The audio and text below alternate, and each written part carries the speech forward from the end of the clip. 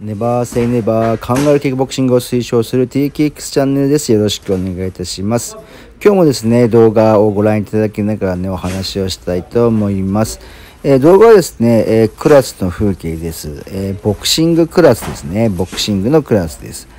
で、インストラクターは、えライズ元ランカーのね、え昨日賞ですね、え新人王を取りました。で、まあ、アマチュアボクシングね、やった後に、まあ、キックボクサーとしてね、えプロとしてやっております。はい。ということでね、あの、まあ、ボクシングっていうのは、まあ、最近のね、あの、キックボクシングではね、首相撲とかそういう組むのがね、なかなかないので、結構こう手をね、あの、速いパンチでこう使っていくことがね、あの、必要になってくるんで、まあ、要するにボクシングが、えー、必須になってきますね。はい。まあ、ボクシングキックともね、言われるぐらい、そのボクシングの技術とかはね、えー、日々重要になってきているので、まあ、最近ではやはりね、あの、キックボクサーでもね、ボクシングジムにね、通ったりね、してる方もいらっしゃると思います。はい。でですね、えまずこう、今回はバックステップを、えー、まあ利用したね、応用になるんですけども、まずね、基礎のワン、ツーやらフックやらね、そういったフォームをしっかりバランスよくできることをね、え前提にやってください。はい、でバックステップを伴うとねやはりバランスだったり、えー、が崩れたりねフォームが崩れたりするのでよりねこう基本をねしっかりやっていかないとなかなかねこう実践でも出すことができないんじゃないかなと思います。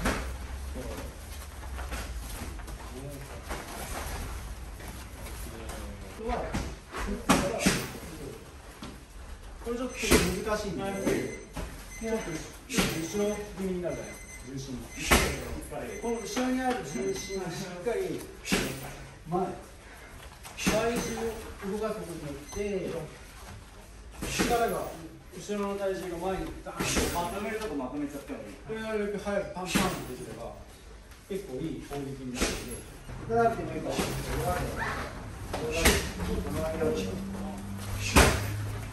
やれ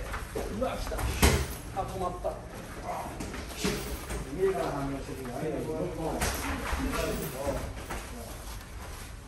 全部早く見たらもうそうそうそう。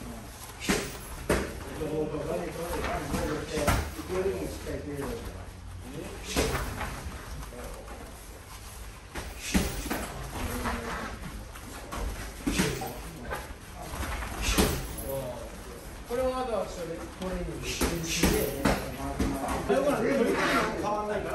大きく振った方がいい。自分でこれをしたらある後ろ足をしっかりとこの足の前で前でしっかりこの手を動かしてい。パンチくらいから横はどうじゃあ今変わって。